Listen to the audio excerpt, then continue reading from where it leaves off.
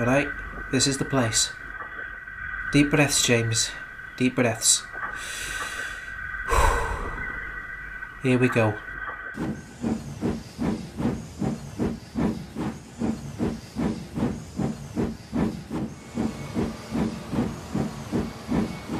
Huh? Oh, yeah. Alright.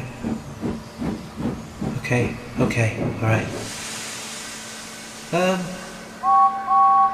Excuse me.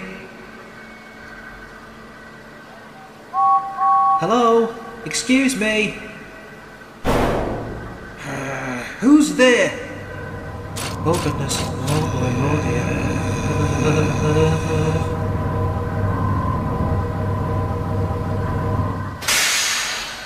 Huh?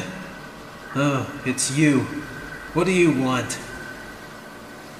Hello.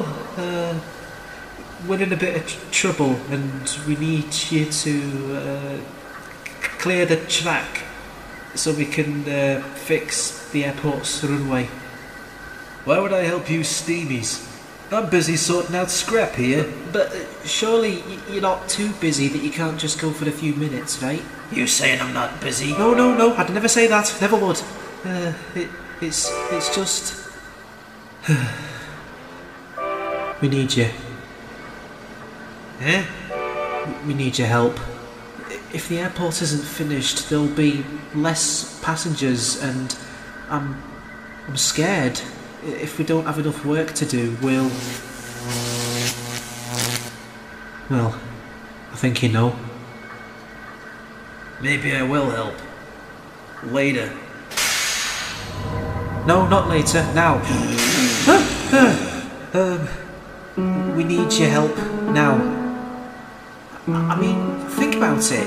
If you help us save the airport, you'll have saved our passenger trains for the summer. You will, without a doubt, be the most important engine on the island. That's funny coming from the likes of you. Thought you didn't like us. Um, what makes you think that?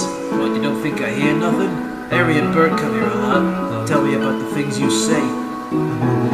I I know now about how horrible I've been to them. And Diesel. I mean, if I wasn't so stuck up and vain, we wouldn't even be in this mess right now.